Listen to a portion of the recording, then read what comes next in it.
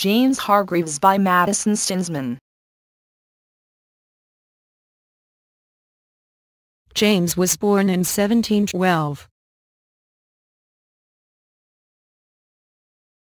This is what England looked like at the time he was born.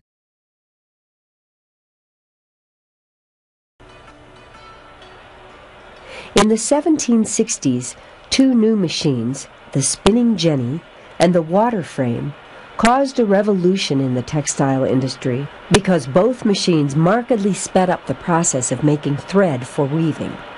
These machines were adapted to use the power of flowing water or hydraulic power. This means that the motion of the water would turn a wheel that was connected by a complicated system of pulleys and belts used to run the machines. Another machine called the spinning mule was developed later in the 1700s. When it was hooked up to water power, just one person could do the work of 3,000 hand spinners. The new textile machines were extremely efficient at producing the fine thread needed to make high quality cloth, and they caused the cottage spinning industry to collapse soon after they were introduced. His invention was named after his daughter Jenny. The Royal Society of Arts offered a competition to anyone who could make a faster sewing machine. His was named the Spinning Jenny.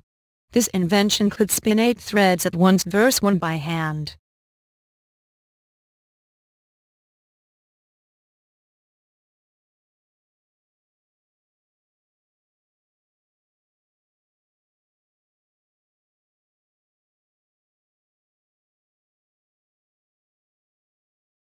But he didn't want to make money off of his Jenny.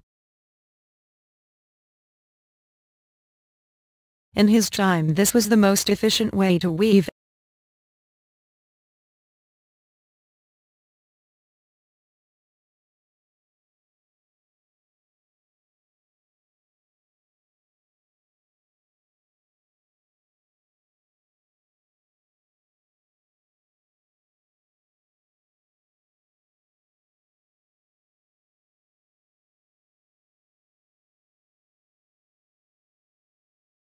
I couldn't find a picture of his family, but this is good enough.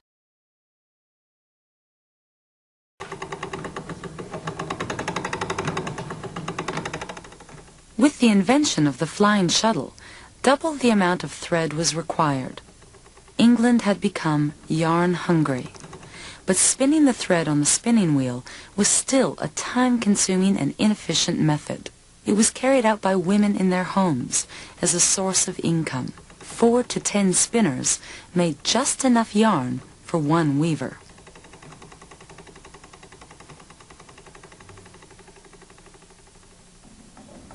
It didn't take long to find a solution.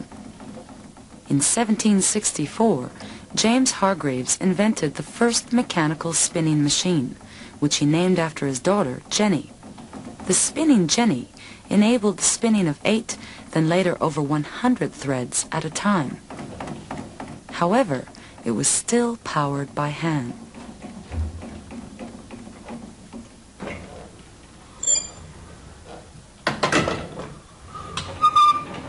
The people he lived around trashed his house in fear of the Jenny.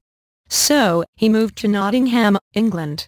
He developed a partnership with Thomas James, People stole his idea and he never got justice for the invention being his own.